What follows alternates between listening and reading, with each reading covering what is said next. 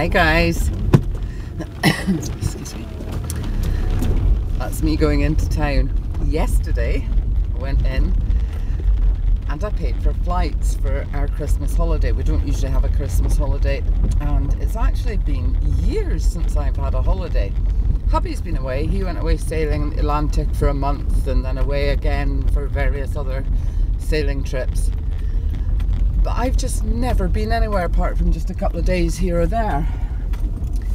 So we're going to Madeira, which is an island off of Portugal, for two weeks over Christmas and New Year. I paid for the flights yesterday, and today I'm going to do go in and do a bank transfer. When I went in to book the holiday, it was going to cost about two thousand pounds for an apartment because we want self catering. Um, my idea of a holiday is to eat out at night because otherwise I'm just might as well be at home if I'm cooking all the time. Don't mind doing breakfasts and pack lunches and things because we'll be out walking most of the time. But in the evening I want to go and eat out. So I wanted an apartment. Um, and the ones they offered us were like I said, it was two grand, that was the flights and the apartment for the two weeks. But the apartment was like in a block of apartments at the side of a hotel, which was just a huge tower block. And that's not a holiday to me. I'm, I'm from the country, I like country. So we're going to go to Porto da Cruz, which I think is about eight miles from Funchal. And we've got a lovely little two-roomed house with its own swimming pool and it was half the price of the stupid apartment that we didn't want. So I'm delighted. I found it on the internet and I'm just going in now and I'm going to transfer half the money to him and he says if we pay the rest when we get there but I'll transfer the rest just before we go as well. So I don't have to carry money. I don't like carrying money. So I'm getting really quite excited about the idea of going away because it's been so long since I've been away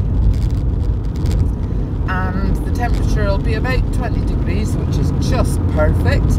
And it's all very mountainous and hilly so there's going to be some fantastic walks. And I can hire a motorbike and the motorbike's the same as the one that I've got at home so that's even better.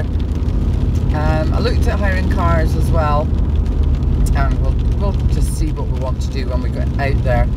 But yes I'm looking forward to it and they have a fantastic um, fireworks display and sort of thing happening at New Year and I think Funchal's quite famous for it so that should be really interesting as well.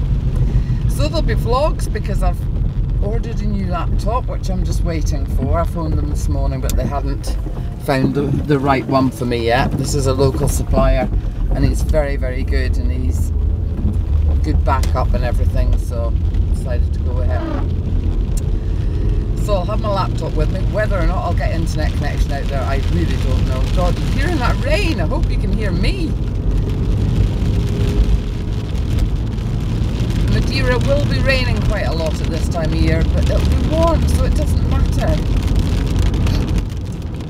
I'm getting so excited. Yes, two weeks away. And I think what might be happening is my eldest daughter and her family are going to come up and stay in the house whilst we're away. So they'll look after the cats and the chickens and things, so that should be fine. Hey guys, that's it, paid for. So the bank transfer wasn't too bad. She said it was going to cost me £27 to do the bank transfer, but in fact it cost me 10 so that wasn't too bad. So we're going on holiday for Christmas going to go and have a look now and see if there's any geocaches. There's bound to be loads of geocaches on Madeira. Okay, bye.